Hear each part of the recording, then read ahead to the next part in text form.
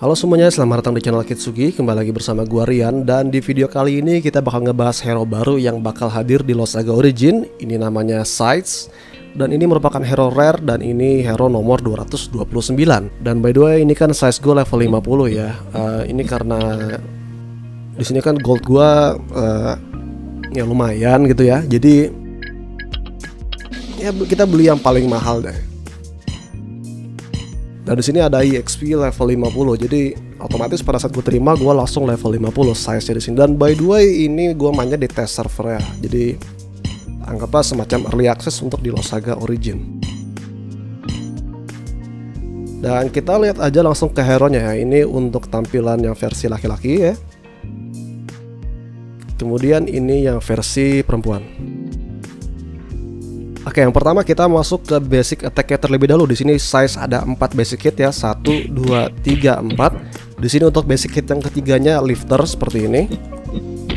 Terus juga untuk basic hit yang keempat itu memberikan efek feint ya kepada musuh yang jatuh, tapi untuk basic hit pertamanya tidak memberikan efek lifter ya kepada musuh yang feint. Dan juga untuk basic hit sendiri di sini bisa di jump cancel ya, seperti ini di hit pertama, hit kedua, hit ketiga dan juga di hit keempat. Terus juga di bawah sini kalau kalian lihat ya di sini size memiliki uh, gauge ya, ada 4 gauge ya di sini dan ini gauge bakal reset ya kalau kita ganti hero. Tetapi untuk pengisiannya sendiri di sini cukup cepat. Uh, di sini bisa terisi walaupun kita posisi lari dan juga posisi standby ya, diam seperti ini. Dan ini gauge-nya nggak bakal terisi kalau kita bertahan, menyerang ataupun lompat ya.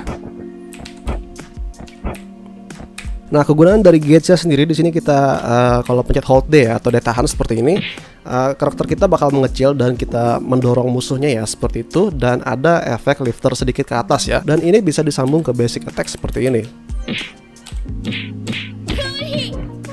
Dan ini bisa di loop juga ya sampai beberapa kali karena seperti yang kalian tahu ya tadi gua mention untuk hit yang ketiganya kan lifter sedikit ya. Jadi bisa disambung lagi ke hold D-nya buat di combo loop seperti ini.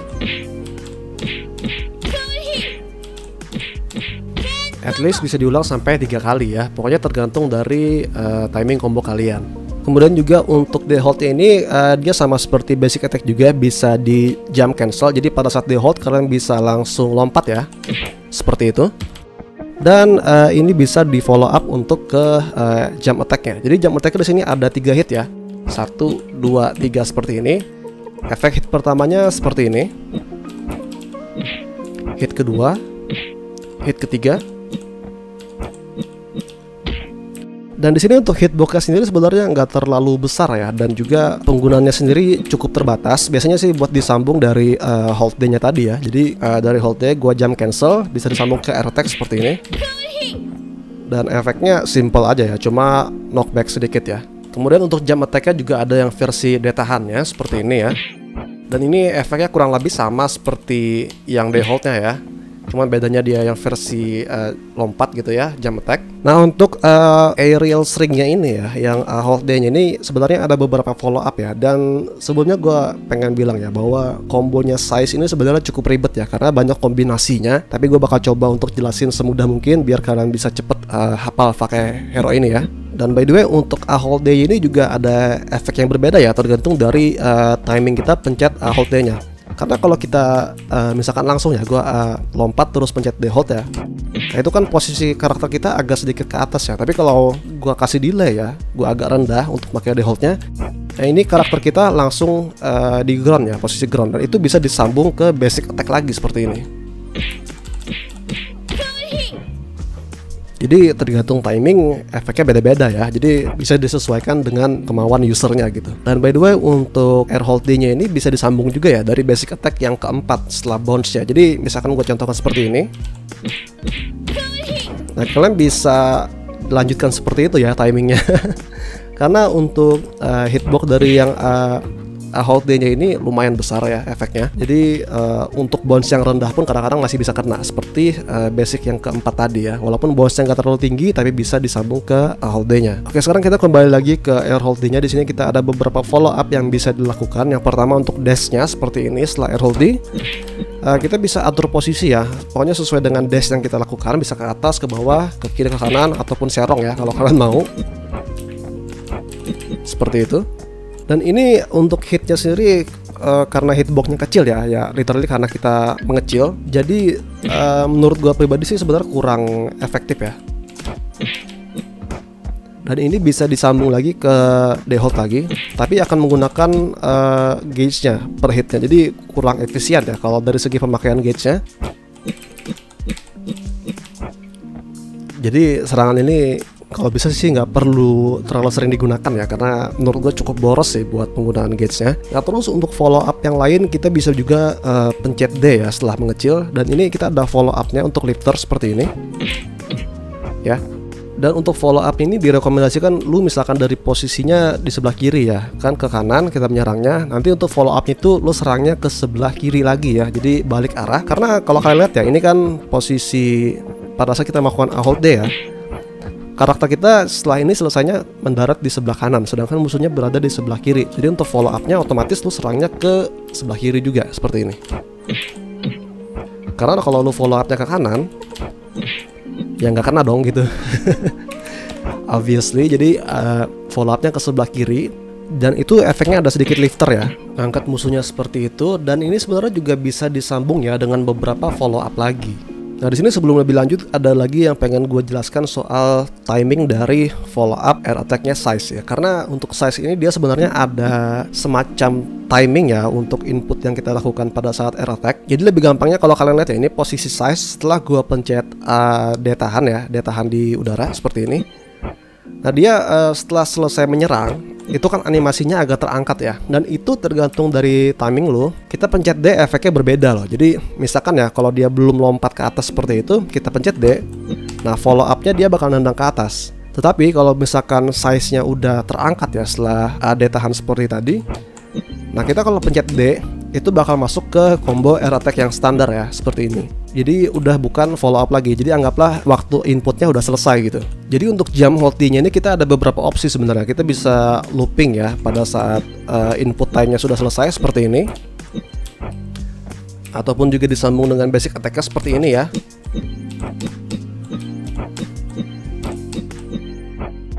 Tetapi kalau inputnya terlalu cepat, efeknya bakal berbeda seperti ini ya. Dia bakal membesar. Jadi uh, ini follow up berikutnya ya dari combo yang kita lakukan tadi. Jadi setelah mengecil ya dari A hold nya tadi ya, jam hold nya kita bisa membesar lagi dengan pencet D tahan lagi seperti ini. Dan itu efeknya bounce ya. Dan ini bisa dilakukan dari A hold saja seperti ini ya. Ataupun dari follow up-nya tadi yang sudah ada lifternya. Jadi tergantung situasi ya, itu bisa kalian pilih gitu mau yang dari follow up ataupun langsung seperti ini. Tapi kalau gue saranin sih dari yang uh, follow up lifter ini ya, karena otomatis uh, borsa jadi lebih tinggi gitu daripada sebelumnya.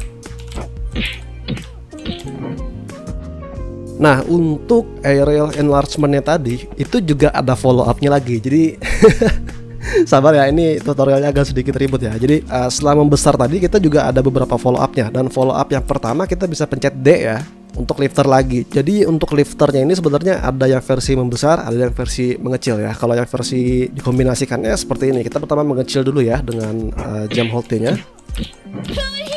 Ya, dia bakal lifter ke atas seperti itu. Dan itu lifternya juga lumayan tinggi sebenarnya. Jadi efeknya lumayan Terus juga untuk yang versi dashnya seperti ini ya. Uh, uh, dia bakal ngebikin musuhnya bounce seperti itu tapi untuk timingnya ya kalau misalkan posisinya rendah seperti ini agak sedikit ribet ya. Karena uh, seperti yang dapat kalian lihat itu hitboxnya agak sedikit kecil ya. Jadi kadang-kadang uh, animasinya itu agak ke cancel gitu. Tapi uh, kalau timingnya pas sih bisa aja sebenarnya Nah seperti itu. Tapi uh, kalau gue sih merekomendasikan ya kalau pakai yang versi dash pada saat uh, ukuran besar itu lebih bagus kalau posisi kita lebih tinggi air combonya. Jadi uh, misalkan dari default ya seperti ini.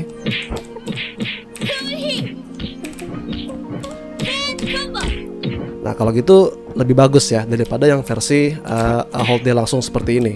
Karena itu posisinya terlalu rendah. Oke, sekarang kita masuk ke dash attack ya. Di sini ada tiga hit ya. Satu, dua, tiga. Di situ untuk hit ketiganya lifter cukup tinggi dan juga untuk hit pertamanya itu lifter ya. Untuk musuh yang faint. Dan juga untuk dash attack sendiri di sini bisa cancel ya, cancel jump seperti ini di hit pertama. terus juga di hit kedua dan juga di hit ketiga dan karena bisa jam cancel di hit yang ketiga kita bisa juga lanjut ke air attack-nya seperti ini tapi biasanya agak sedikit lebih susah dan lebih mudah kalau menggunakan yang air hold D seperti ini. Terus juga untuk uh, dash attack di sini juga ada versi yang daya tahannya ya. Jadi uh, dia bakal membesar seperti ini. Dan ini memakai satu gauge ya dari uh, pasifnya. Dan ini juga memiliki efek guard breaker ya. Jadi misalkan musuhnya ngedef ya ataupun terkena es seperti ini uh, terus kita dash hold di seperti ini itu efeknya break ya. Dan musuhnya bakal bounce dan di sini ada lagi beberapa follow up yang dapat dilakukan ya. Pokoknya uh, semua serangan yang menggunakan gauge ini ada beberapa follow upnya dan follow up yang pertama yang paling gampang itu adalah lu bisa dash ya seperti ini. Jadi uh, kalau karena musuh yang sudah terbounce seperti itu dia bakal terbounce lagi satu kali. Dan itu bisa di follow up ke basic attack ya seperti ini. Ataupun juga bisa di loop lagi ya. Jadi lu bisa pencet dia tahan lagi untuk melakukan uh, guard breaker lagi. Jadi misalkan uh, di loop bisa seperti ini.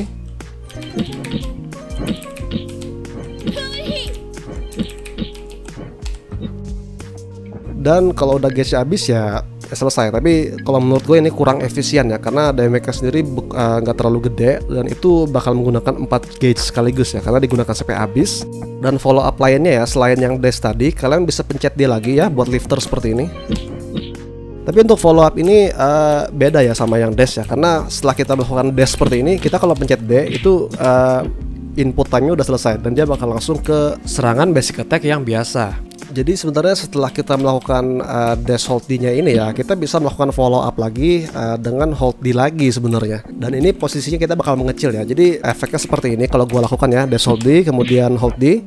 Dan ini efeknya sama sebenarnya seperti uh, air hold D-nya seperti ini yang berarti uh, setelah follow up dari dash hold D dengan hold D ini kita bisa pencet D lagi, dash lagi ataupun juga R attack yang biasa. Jadi uh, follow upnya kurang lebih sama. Jadi follow up pertama yang bisa kita lakukan seperti ini.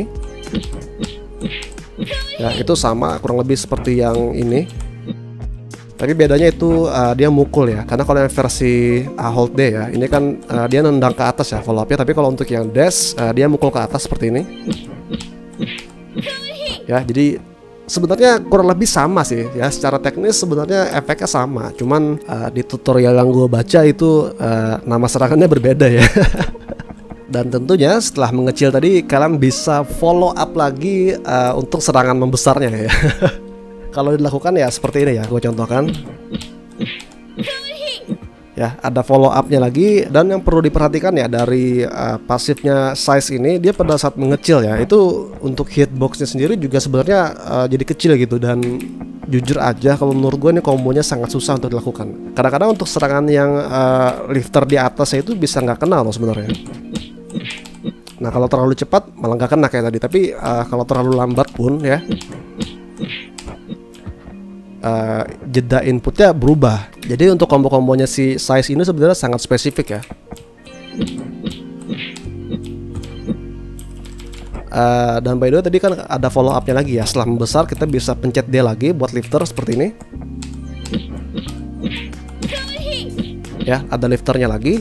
Dan juga kalian bisa uh, yang versi dashnya ya seperti ini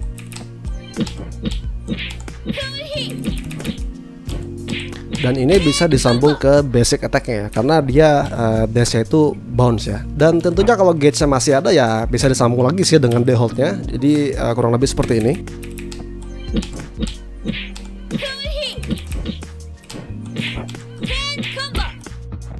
Dan ya walaupun ribet ya sebenarnya combo-kombonya size ini tapi kalau kalian pas berhasil melakukan kombonya itu ya cukup keren sih sebenarnya Dan tentunya karena ini kombinasinya kan sangat banyak ya uh, dan juga cukup fleksibel untuk penggunaan uh, pasif beta hamnya ini yang berarti juga kombinasi kombonya sendiri pun juga sangat bervariasi sebenarnya. Pokoknya tergantung dari uh, kondisi kalian gitu tergantung dari berapa banyak gauge yang kalian punya dan juga tergantung dari posisi kalian dan juga uh, yang makainya jago atau enggak gitu loh karena kombonya ya emang rumit sih sebenarnya tapi uh, eh, gue bakal contohkan beberapa ya kombonya yang menurut gue cukup bagus ya buat size ya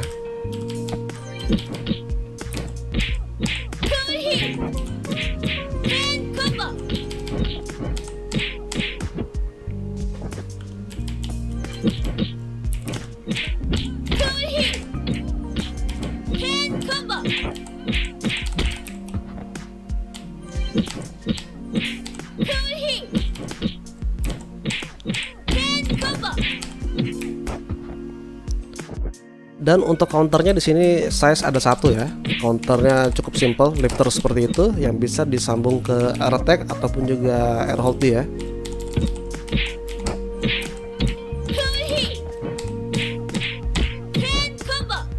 Oke, sekarang kita masuk ke skillnya dulu ya. Yang pertama bakal kita lihat adalah skill weaponnya. Di sini cukup simpel ya. Untuk skill weaponnya Quantum Realm. Di sini kita bakal mengecil seperti ini. Kita bisa lari lumayan cepat ya. Dan di sini pada saat kita mengecil ya, kita bisa pencet ya untuk menyerang seperti itu dan serangannya itu bikin musuhnya stun ya. Dan kita uh, bisa knockback cukup jauh untuk musuhnya. Dan ini timingnya memang nggak terlalu apa ya, nggak terlalu lama ya. Karena kalau kita diem aja seperti ini, uh, setelah beberapa detik kita langsung membesar. Dan untuk hitnya sendiri di sini tergantung dari uh, berapa lama kita mencetnya ya. Karena di sini kan untuk timing perubahannya sendiri nggak terlalu lama, jadi otomatis pada saat mengecil ya itu uh, diusahakan kita pencet dia terus seperti ini. Nah, kita cari terus musuhnya yang ada di dekat kita gitu buat diserang. Dan by the way ini untuk weapon skill juga termasuk skill counter ya. Jadi kalau kita terkena hit seperti ini, nah kita bisa langsung mengecil ya buat counter. Tapi dia pada saat lompat ya itu nggak bisa menyerang ya. Jadi uh, dia cuma bisa menyerang pada saat posisi di darat seperti ini. Kemudian armor skill di sini cukup simpel ya. Uh, atomic amplification di sini kita menjadi besar ya dan kita bisa menghit musuh ya sesuai dengan magic circle yang kita arahkan. Dan di sini untuk hitnya sendiri juga ground hit ya. Jadi kalau musuhnya jatuh kita bisa langsung serang juga seperti ini misalkan. Ya, dan ini durasinya juga lumayan dan juga untuk hitboxnya sendiri lumayan besar ya jadi misalkan musuhnya rame seperti ini ya ini kenanya lumayan banyak nih. Seperti ini ya tapi ini gua bakal ngelag banget nih. Dan juga uh, ini kita bisa cancel ya. Uh, tinggal pencet ASD lagi uh, buat mengcancel skill armor ya nah seperti ini yang berikutnya di sini skill helm atomic reduction. Di sini kita uh, kurang lebih sama seperti skill weapon ya. Kita menjadi kecil seperti ini. Cuma ada beberapa perbedaan. Yang pertama adalah uh, untuk speednya sendiri di sini sangat cepat ya dibandingkan weaponnya. Dan juga untuk hitnya di sini lebih banyak ya. Uh, kalau kena musuh uh, secara beruntun seperti ini